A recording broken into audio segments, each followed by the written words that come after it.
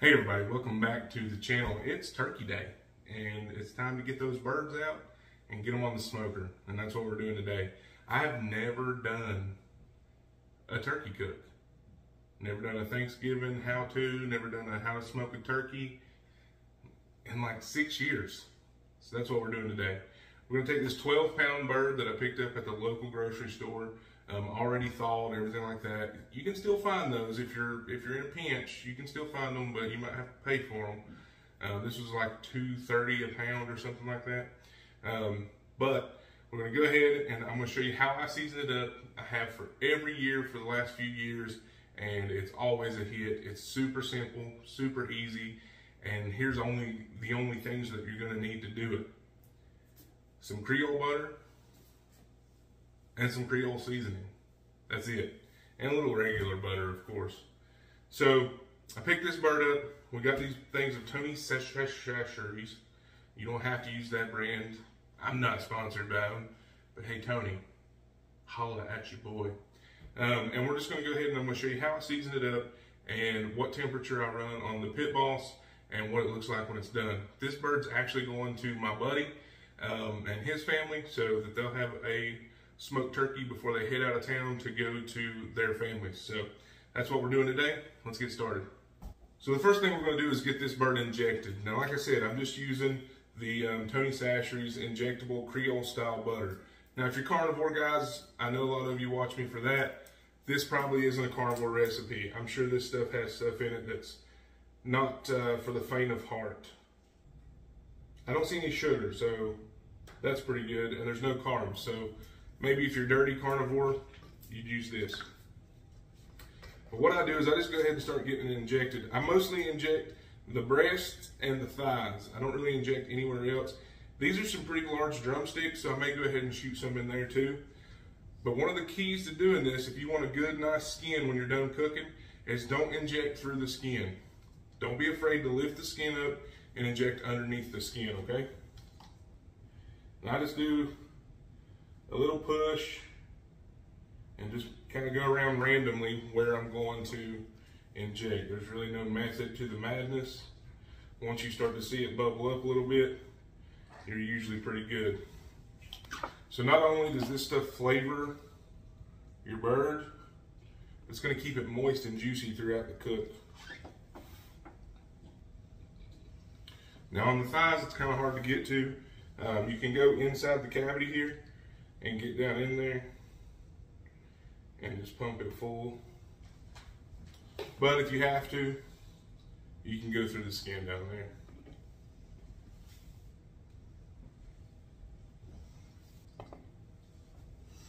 If you want to hit the wings, you can.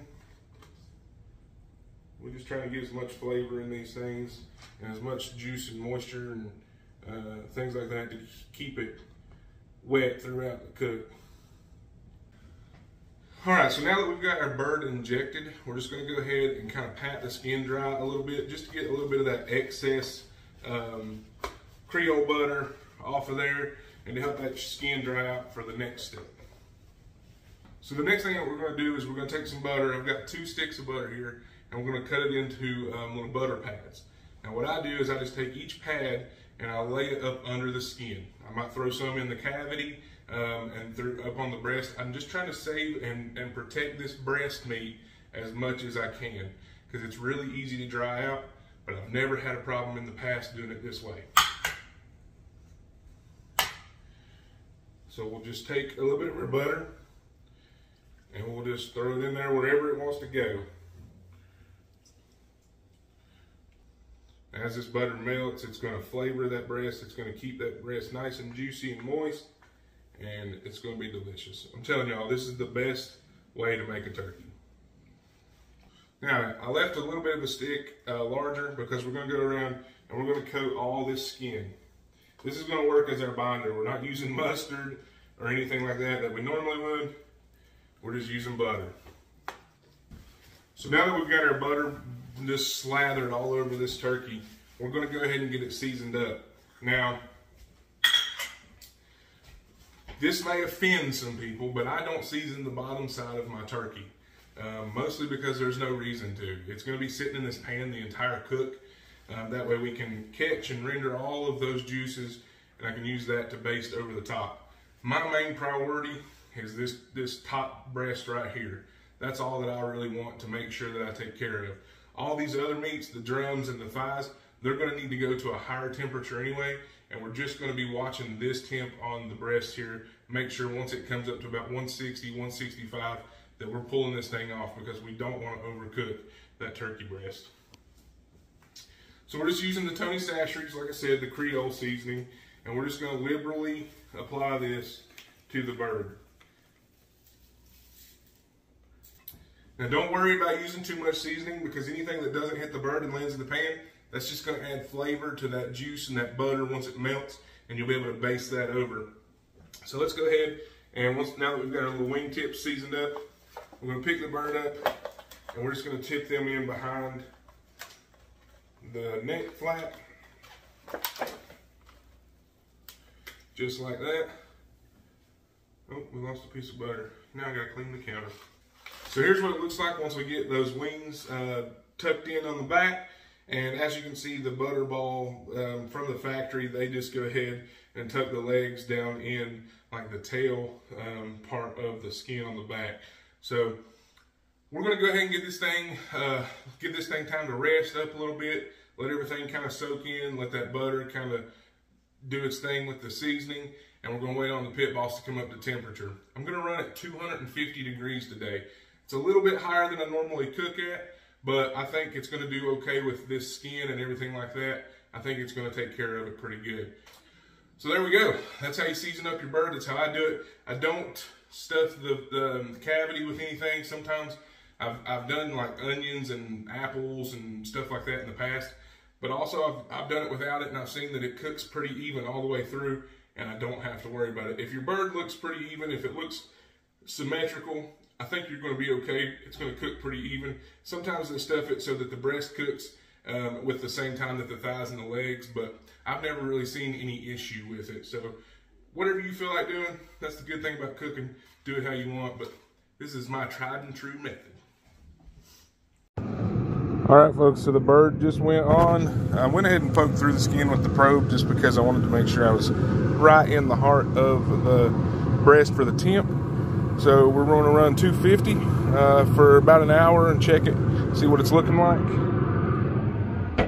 And that's when I'll check back in with y'all. We'll see how long this takes. As far as um, minutes per pound or anything like that, I don't really know what this bird will do. Um, all that's dictated by your temps and by the size of the bird and if you stuff it or not or you know all kinds of factors factor into that so we just check it about every hour or so see what it's doing. I'm going to assume this is going to take about six hours um, but we'll see what happens. All right? All right so we're one hour in. Um, the pit is running 250 degrees.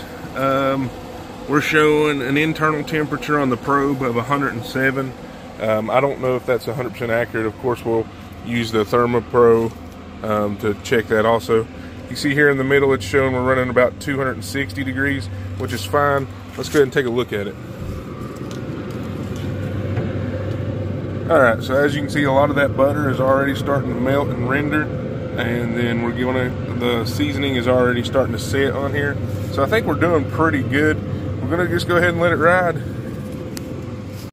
We're going to give it another hour, check back in. We'll probably probe it with the um, instant read thermometer at that point just to see what kind of variations we're having from the internal to the instant read. All right, so we'll check back in with y'all in about an hour. All right, it's been three hours.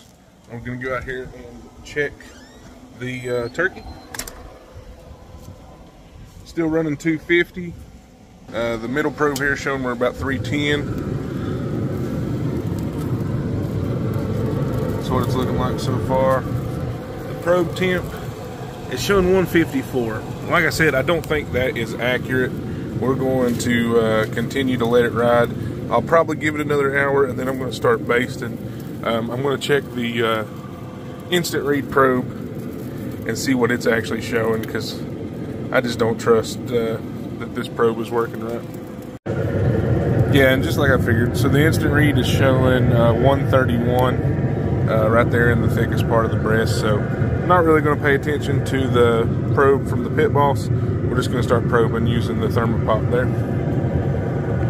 All right, guys, we're four hours in. Um, let's take a look at the bird, see what it's looking like. I went ahead and basted it with all the juices um, the last after the last clip, so it's looking really good.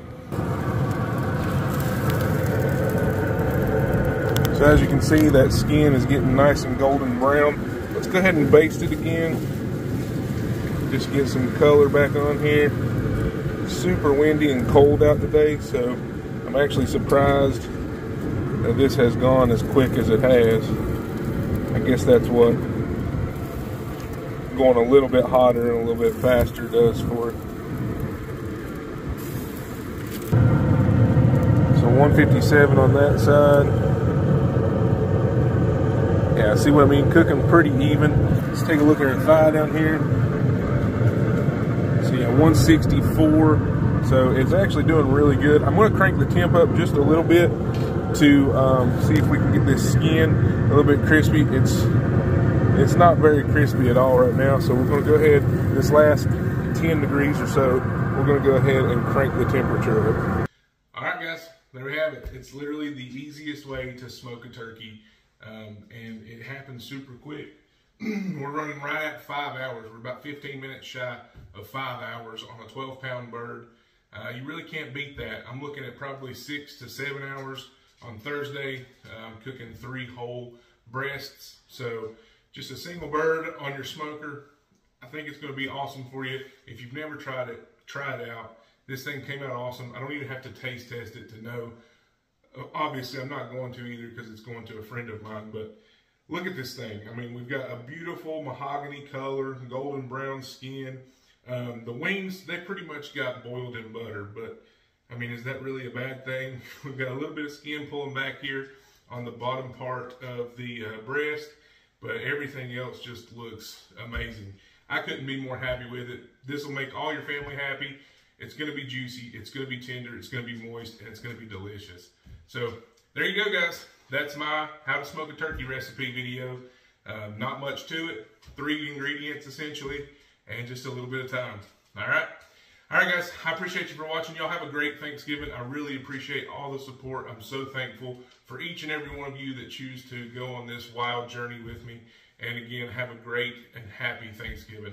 We'll see you next time. Y'all stick with me. We'll see what we can do. Thanks, guys. God bless.